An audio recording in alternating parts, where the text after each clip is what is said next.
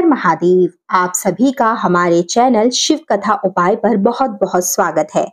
मित्रों, आप सभी जानते हैं 24 अगस्त को श्रावण माह की अंतिम अष्टमी तिथि है। अष्टमी तिथि के इस महा उपलक्ष्य पर महासंयोग पर, यदि आपके जीवन में दुख बहुत अधिक है, दुख की समाप्ति नहीं हो रही है, एक के बाद एक दुख बना ही रहता है तो ऐसी परिस्थिति में आप इस एक उपाय को करना अवश्य ही शुरू कर दीजिए।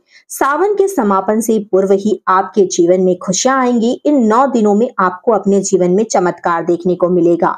पूजनीय पंडित जी अपनी श्री शिव महापुराण कथा में बताते हैं कि नंदेश्वर शिव महापुराण की कथा में यह उपाय लिखा गया है कि प्रदोष काल में, अर्थात प्रदोष काल के समय पर, यदि आप दो जगहों पर दीपक लगाना शुरू कर देते हैं, अष्टमी तिथि के दिन से ही तो सावन के समापन से पूर्व ही आपके जीवन के सभी दुख समाप्त होते हैं और आपकी कामना महादेव अवश्य ही सुनते हैं। प्रदोष काल के समय पर महादेव माता पार्वती स्वयं धरती पर भ्रमण के लिए निकलते हैं और अपने भक्तों के कष्टों को दूर कर उनके जीवन में खुशहाली लेकर आते हैं। तो इसी समय पर यह दो दीपक का उपाय आपको कर लेना है।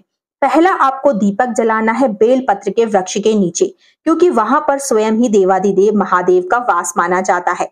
तो आज से ही, यानी कि अष्टमी तिथि पर से ही आप एक दीपक बेलपत्र के वृक्ष के नीचे लगाए और दूसरा दीपक अपने घर के, घर की चौखट पर, यानी घर के मुख्य द्वार पर लगाना शुरू कर दे। दीपक चाहे आटे का हो या मिट्टी का, लंबी बाती का और शुद्ध देसी घी का ही आपको दीपक लगाना है।